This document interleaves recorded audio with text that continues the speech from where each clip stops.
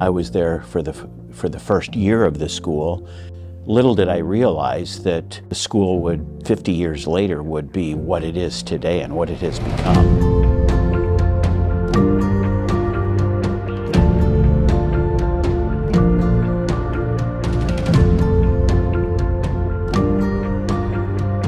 Well, it was back in uh, 1972. We, uh, one of our children was in the, going into the fourth grade uh, in the public schools in Spencerport. We were very unhappy with what we saw going on with the curriculum. We'd come out of the South where there was a lot of Christian education. So I made up my mind, we're either going to start a Christian school here or we're moving. So I went to Pastor Mullen, told him, I said, you know, we need to start a Christian school. If we don't, goodbye, we're gone. Basically, the school started in what was called then building number two. The school grew, continued to grow. In 1975 and 76, I believe, we began to occupy what we called building three, which was the big auditorium, new office space, and all that. In 1982, the school had grown to about from 40 to about 250 to almost maybe 300 students. We were at capacity, uh, student wise, and so we were looking for another facility. And um, Warren Harding Public School in Gates come up for sale, and they wanted, I think it was, originally was like million and a half to two million. We said no, that's out of our ballpark. Our lawyer uh, offered them $400,000, one quarter of what they were asking and basically didn't hang around for a discussion.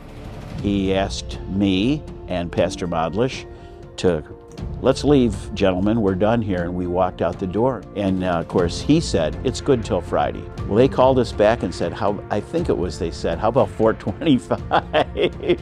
so we bought the school, if I'm not mistaken, for $425,000. And then they wanted to sell all the contents. So they put everything in the gym there.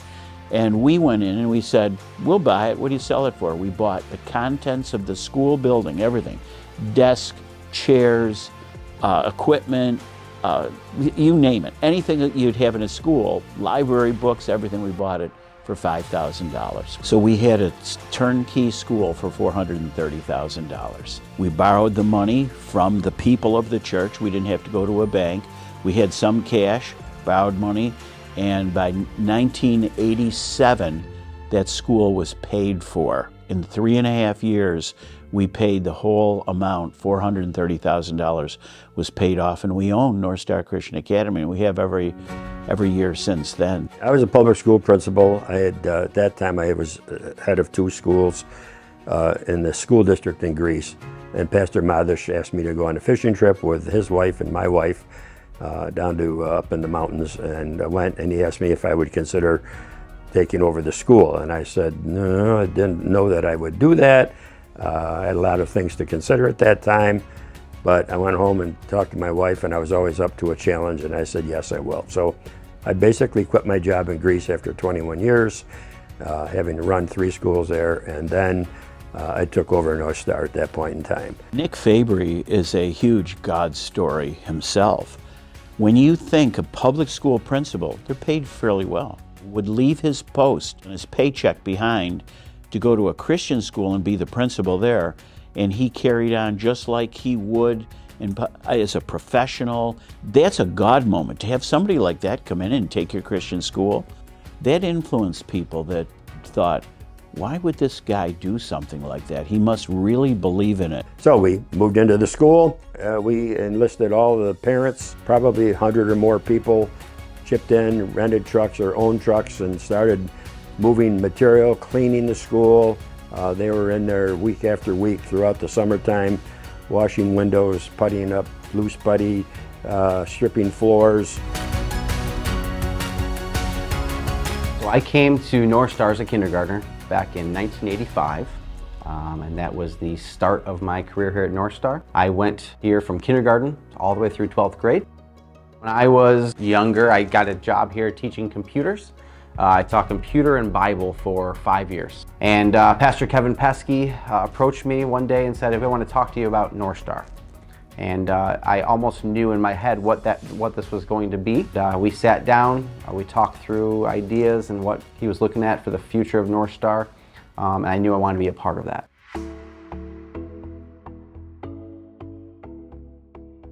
Were a few things about North Star that really prepared me for my life after North Star. I just think it gave us opportunities, gave us the Christian worldview, gave us opportunities to learn how to serve and to give back, which is something I still appreciate today. My education gave me such a solid base for college and my career in the medical field, and I still value so many lifelong friendships from my time at NCA.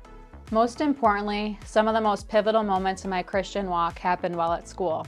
I'll never forget one elementary teacher answered all my questions about getting saved, or the truths I was taught as a young child and the scripture I memorized in elementary school.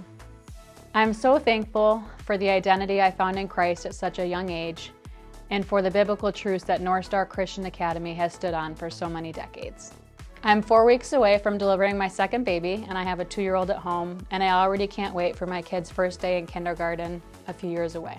The impact that North Star Christian Academy and the teachers had on my family, there's not even any words to.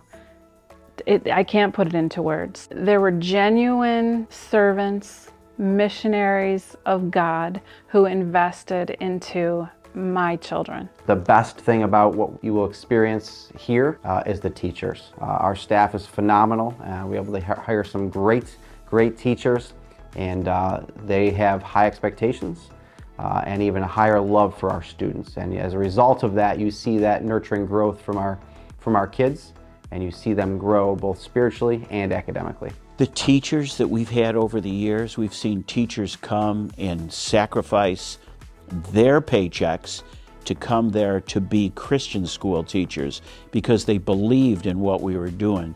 So every teacher that ever came to North Star, or every worker that ever came, because they saw that as a cause. It wasn't a job, it wasn't a paycheck, but they were part of the cause of Christian education. Every one of those people are God moments. Actually, that was the most important part of what I believed I was doing was to be an impact on students. I love students. It was natural for me.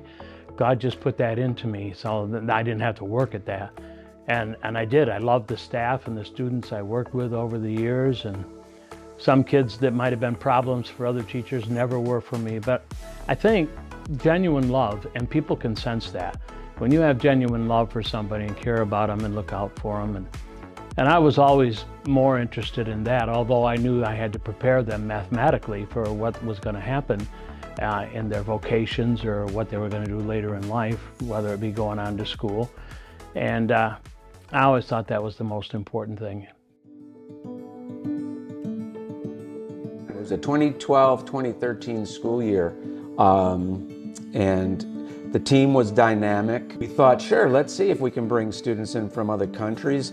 How cool is that, you know? So yeah, I mean, it took about nine months to do it from start to finish. And I remember when I got the email, I was in my office and I was ecstatic when she said, you've been approved. And it was, it was I, I knew it was a big moment for us because we were going to do something that we had never really done before. And we knew, boy, this is going to be really cool.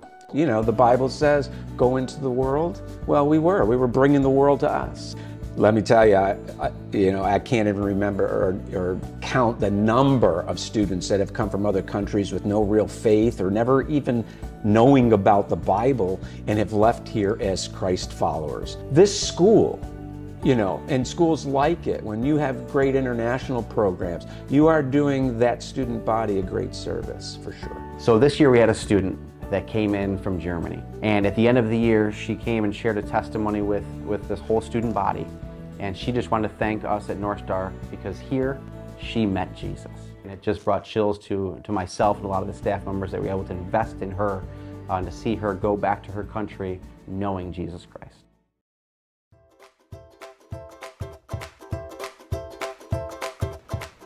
I have no idea. Uh, a lot different. Uh, old? Everybody here is going to be a robot except for the uh, kids. There's going to be robot teachers. They're going to be driving robot cars that are flying. Everything's going to be super rusty and then dark, super dark. Everything cotton candy. Play all day. And they're nothing. Old, uh, rusty, looking like a tin can, needs to be rebuilt. Taco Tuesday every day. Maybe like a little bit old. You don't have to go to school at all. The school will give them hoverboards that actually hover. I'm gonna eat cat food too. Cat food? Because I'm half cat. I once ate my cat's cat food. It was delicious. Kids would be billionaires and rule the world. Basically, there's a whole buffet that has like Subway, Chick-fil-A, and all that stuff. We can pick whatever we want. I would play soccer with a hologram soccer ball. It might be dusty and old, and the food in the school will be bad. There's like leftovers in the lunchroom. Maybe it'll like be expired. We will have a video game shelf. There probably will still be the book fair. In 50 years, I will miss NCA. I will miss my school in 50 years. And all grown-ups are made on money. So this is a pretty rich school in 50 years. Yeah.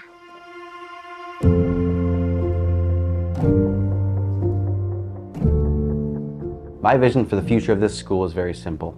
Uh, our, our mission is that we want to impact students spiritually and academically to change the world for Christ. The goal and vision for the next 50 years would probably be to continue to do the same thing we're doing, just uh, partnering with parents to, to train their children up, to love them, to equip them, whether it's uh, athletics, whether it's academics, whether it's arts. Every child is created in the image of God, and He has gifted them with amazing purpose and value, and we want them to see that fullness and use that for the Lord. When I look forward to North Star, hmm, my hope would be that more and more teenagers would be surrendered to God, to, to really take the Lord seriously, to know God, to learn the spiritual aspects of education so that they can change this world for the gospel, for the Lord. Um, why else are we here? We in America are living on the mission field. Now, we always have, I know that. But now, looking at the culture and what is being forced on us through the media, through public education, through the political realm, through all those, I see America turning into a mission field. And I see more and more the purpose for North Star Christian Academy to be a mission training station. The children need to understand that they are going to become the missionaries to the United States of America. And I think that needs to flow from the top, from Ryan Grape, right down through the administration, right through the teaching teachers, through the parents, and into those children, that when they walk across that platform on a graduation, that they are now missionaries to a foreign adversarial culture to Christianity. That's why we are here. That's what this is all about.